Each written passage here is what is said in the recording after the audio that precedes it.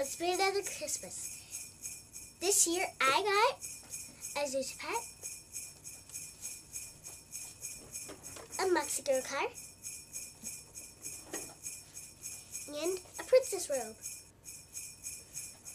Leave a comment saying, what gifts did you get this year?